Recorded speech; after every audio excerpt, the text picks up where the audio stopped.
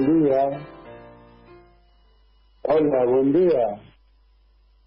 Buen día a todos, todas y todos. Muy, pero muy buen día. Eh, yo le quiero recordar a mi querido amigo Javier eh, algo que me pasó a mí hablando de frases, ¿no?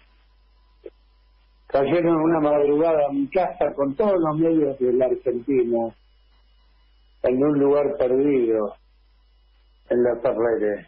Todos los medios de la Argentina en la puerta. Me sacaron esposado con pecheras, con cascos, en un monumental escrache y así lo hicieron con 30 compañeros. No tuvieron medida ninguna a la hora de escrachar, de librarnos, de basurearnos mediáticamente a la hora de, ejercer el poder, la basura matrista. Bueno, eh, ahí están, ¿no? Ahí están. Eh, ayer fueron 20 taxistas con un cartel que decían queremos preguntar a ver si le daban una nota a Tomás Méndez. Y eso terminó con que las autoridades del canal le echaron del laburo. Esta C5N tan contradictoria que en su origen era de Daniel Laval y que muchos que hoy laburan ahí, que la juegan de izquierda nacional y popular, entonces eran de derecha y yo me desgarritaba peleándome con ellos en medio. Por eso memoria, muchachos. No olvido ni perdón para algunas cosas. Ese canal, hoy para poder estar ahí tiene que ser marxista, amigo de algún ministro de Alberto, de algún personaje, este o la retista, porque los tipos reciben pauta del gobierno nacional y del gobierno de la ciudad de Buenos Aires. Este, el resto nada. Y la verdad su su kirchnerismo a estos muchachos se les transforma en, en parte de su negocio. Eh, yo alguna vez dije que sé lo que es compartir una celda, por lo menos un día, con Cristóbal López y, su compañero, ¿no? Este, y realmente veo que tiene muy poco código. El 5 de abril hicimos una marcha de más de 15.000 compañeros en la Corte Suprema, pidiendo por la libertad, mirar y vida la verdad, la marcha fue censurada por C5N. Censurada por C5N. ¿Ah? Más de 15.000 personas marchando y ellos, para quedar bien con la prensa, decidieron no mostrarla.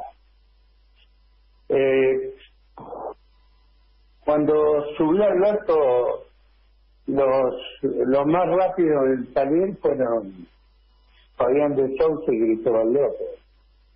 Los demás estamos acá, pudriéndonos en nuestras cárceles que tienen distinto, distintas fisonomías.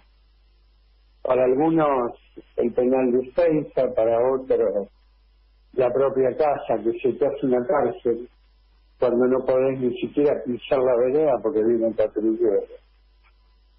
Entonces, toda mi solidaridad con Tomás Méndez. Escraches son los que hacía Burrich y Macri con todos nosotros cada vez que nos detuvieron, tirándonos encima toda la prensa argentina, tratándonos fraudulentamente como, como delincuentes. Por eso me parece que son tiempos donde hay que tener memoria, ¿no? No olvidarnos. Eh, si son masistas sos albertista o sos este, la artista, el C5N tiene cabida. Ahora si sos kirchnerista consecuente, un kirchnerista que ha pagado con su libertad el hecho de ser kirchnerista, nada, no te ponen nada. Yo soy totalmente censurado en tiempo.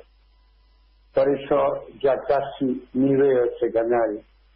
Este, me parece menos hipócrita ver a todos los demás.